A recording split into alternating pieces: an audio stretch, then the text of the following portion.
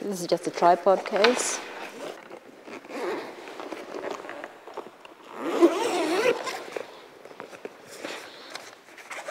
This is the tripod. Just put the legs out like that. I'm just going to release this so we can do, um, set the camera on the tripod. This is where you loosen it. And over here, that's where we release it.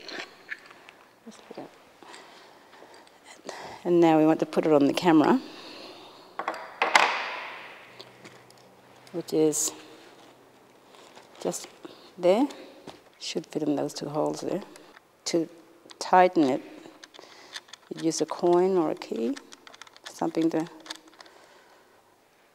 to make it secure. I've Got a key in here, so it won't fall off. Just um, lifting the tripod up, releasing the hatches.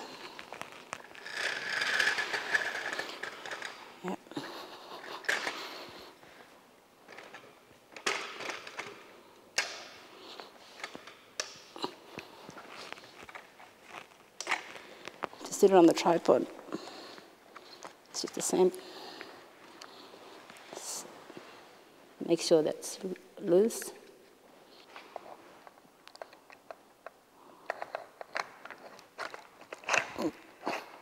Yep, that's it.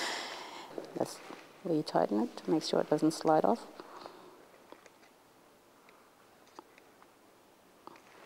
Yep. Secure? Yep. And yeah, it's pretty secure. Yeah, this is just the handle. That's it's locked now. But to loosen it, so I can move it. I use that one.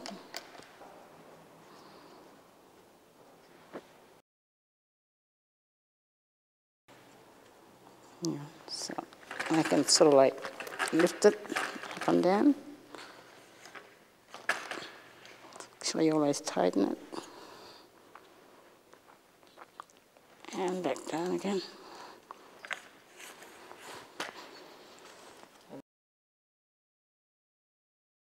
It's just for panning. That's, I've locked it in now. Now I can't do that. And to tilt up and down, just loosen that one. I can do that.